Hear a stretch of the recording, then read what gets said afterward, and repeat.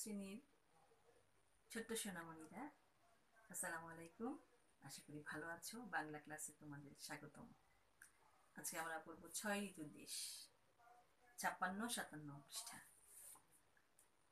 মন দিয়ে শোনো, আমাদের দেশটা তো অনেক সুন্দর। আমাদের দেশের নানা রূপ, চারপাশে সবুজ আর সবুজ, মাথার উপর নীল আকাশ, রূপালী ফিতার মতো নদী বয়ে যায়।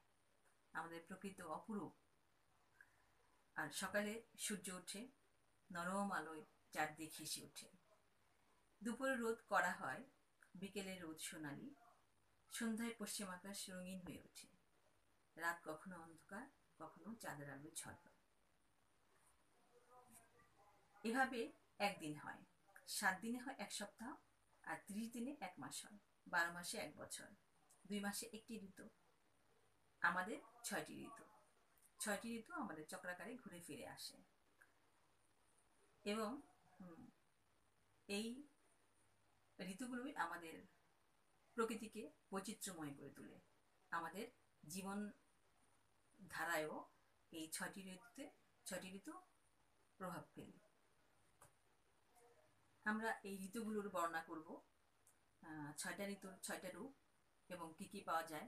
সে তোমাদের বইতে আছে সুন্দর করে আমরা প্রথমে লক্ষ্য করো গ্রীষ্মকাল। দেখো, গ্রীষ্মকালের ছবি দেখতে পাচ্ছ এখানে। বাংলা বছর বৈশাখ মাস থেকে শুরু হয়। বৈশাখ ও জ্যৈষ্ঠ এই দুই মাস নিয়ে গ্রীষ্মকাল। এই সময় খুব গরম পড়ে, খাল বিল শুকিয়ে যায়, কখনো কখনো প্রচণ্ড ঝড় হয়, তখন জানমালের ক্ষতি হয়। গ্রীষ্মের পরে আসে, এই যে দেখো ঝড়ো বৃষ্টি হচ্ছে। হুম, আষাঢ় আর শ্রাবণ মাস নিয়ে বর্ষাকাল।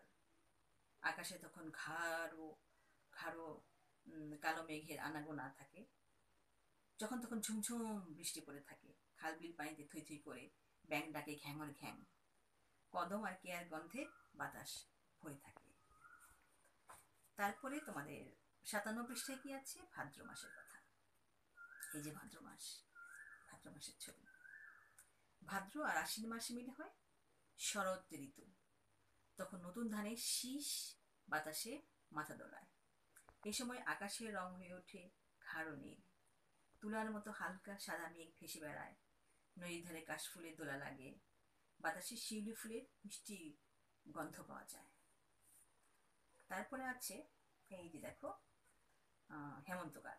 হেমন্ত ঋতুর ছবি ধান কাটা হচ্ছে।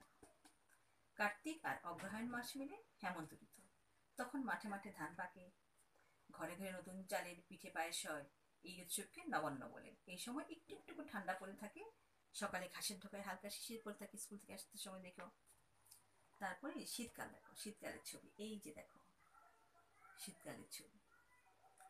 পৌষ আর মাঘ মাস মিলে শীত ঋতু।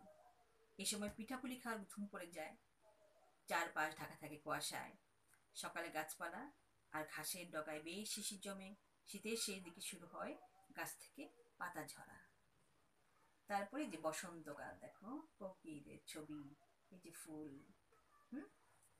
ফাল্গুন আর চৈত্র মাস মিলে বসন্ত ঋতু। এই সময় প্রকৃতি নতুন রূপে সাজে। নানা ফুলে ভরা থাকে গাছ, শাখায় শাখায় পাখি গান করে। কোকিলের গানের সুরে মন ভরে যায়। বসন্তকে বলা হয় ঋতুর রাজা। তোমরা তো এই পাঠটা ভালো করে রিডিং দিবে। এখন এখান থেকে শ্রুতলিপি আসতে পারে। এই যে শুরু থেকে আমাদের দেশটা কত সুন্দর। যেমন এক নাম্বার এক নাম্বার এক নাম্বার, দুই নাম্বার, তিন নাম্বার দিয়ে দিয়ে এটা শ্রুতলিপিগুলো প্রতিটা লাইন লাইন লিখবে। হুম? আমাদের দেশটা কত সুন্দর। তার নানান রূপ। এভাবে মাকে বলবে বা ভাই বোনকে বা কাউকে বলবে আর তুমি বসে বসে লিখবে। আর এই প্রত্যেকটা ইয়ে থেকে কঠিন কঠিন বানানগুলো লিখবে খাতায়। বানানোর জন্য বানান আসবে শ্রুতলিপি আসবে। তারপরে প্রশ্নও থাকতে পারে। হুম। কয় মাসে এক বছর এখানে আছে? বারো মাসে এক বছর। তারপরে বৈশাখ মাস কোন কোন মাস নিয়ে গ্রীষ্মকাল কোন কোন মাস দিয়ে, বৈশাখ ও জ্যৈষ্ঠ এই দুই মাস গ্রীষ্মকাল। এভাবে বর্ষাকাল কোন দুই মাস নিয়ে এভাবে সবগুলো শিখবে। আর অনুশীলনীটা ভালো করে শিখবে। শব্দার্থ শিখবে শব্দার্থ আসে। যেমন রূপ। রূপ মানে কি? শোভা। তারপরে রূপালী। রূপালী মানে রূপার মতো রং। মানে রূপার মতো রূপালী। সন্ধ্যা। দিন ও রাতের মিল হয় যে সময়। সুন্দর মানে ভালো, উত্তম। তারপর জানমাল, জীবন ও জিনিসপত্র। সপ্তাহ মানে সাত দিন। উৎসব, আনন্দের অনুষ্ঠান। আর ঘাড়ো মানে ঘন, গন্ধ মানে সুবাস, প্রচণ্ড মানে ভয়ানক। তারপর থাকে শূন্যস্থানে অর্ধ থেকে শূন্যস্থান আসবে যেমন কারও দেশ করা ভালো নয়, দেখবে কারও ক্ষতি করা ভালো নয়। রাতের আকাশে দেশ চাঁদ দেখা যায়। রাতের আকাশে রূপালির চাঁদ দেখা যায়। যেমন দেশ আগেই বাড়ি ফিরে আসব, সন্ধ্যার আগেই বাড়ি ফিরে আসব। তারপর নববর্ষে কত রকমের দেশ হয়? নববর্ষে কত রকমের উৎসব হয়? গোলাপ ফুল, দেশ ফুল। গোলাপ খুব সুন্দর ফুল। তারপরে বন্যায় দেশ ক্ষতি হয়, বন্যায় জানমালের ক্ষতি হয়। তারপরে আছে দেশ রোদে পড়ে পিপাসে পেয়েছে, প্রচণ্ড রোদে পড়ে পিপাসে পেয়েছে। তারপর ফুলের দেশ খুব ভালো লাগে, ফুলের গন্ধ খুব ভালো লাগে। আষাঢ় মাসে আকাশে দেশ মেঘ হয়, আষাঢ় মাসে আকাশে ঘাড়ো মেঘ হয়। হেমন্তকালে দেশ হয়, হেমন্তকালে নবান্ন উৎসব হয়। আর বাংলাদেশে এক এক ঋতুতে এক এক দেশ দেখা যায়, এক এক রূপ দেখা যায়। ছোট বন্ধুরা, তারপর তোমাদের আসে কি? যুক্ত বর্ণ যেমন, জয় রেফ। এটা ভাববে কীভাবে?